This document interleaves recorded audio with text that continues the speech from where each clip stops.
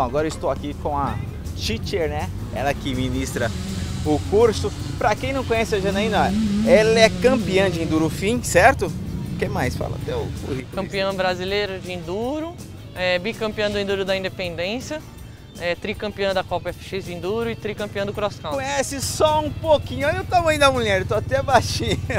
E agora, agora me explica, Janaína, como que é ministrar um curso desse? O que, que ele traz para o piloto?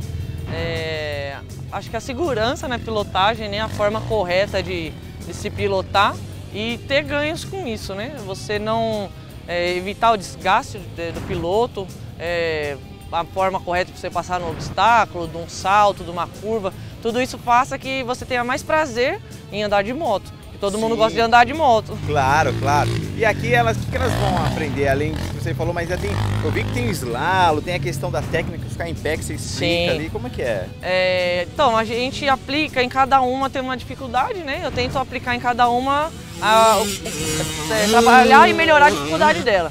É, aqui, no espaço aberto, a gente treina mais curva, frenagem, posicionamento em pé a agressividade na moto, né? Saber encarar uma curva, saber encarar o obstáculo. E o legal é que com o tempo elas vão ganhando cada vez mais velocidade. Agora você falou agressividade. Mais ou menos o que, seria essa agressividade? Seria entrar forte na curva? É, é, é, você entrar forte na curva, você ter o domínio da moto, você vê que ela tá vindo rápido, mas que você tá sobre o controle, sobre o domínio dela, que você sabe o que você tá fazendo. Isso que é o importante, não fazer na loucura. Na loucura, né? É. Entrou, nossa, meu Deus, a curva sai capotando.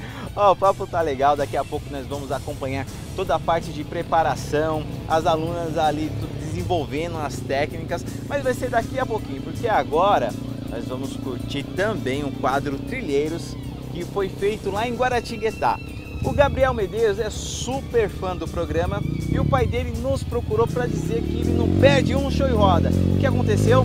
Nós fomos lá em Guaratinguetá fazer uma surpresa para o Gabriel. Produção, aperte o play!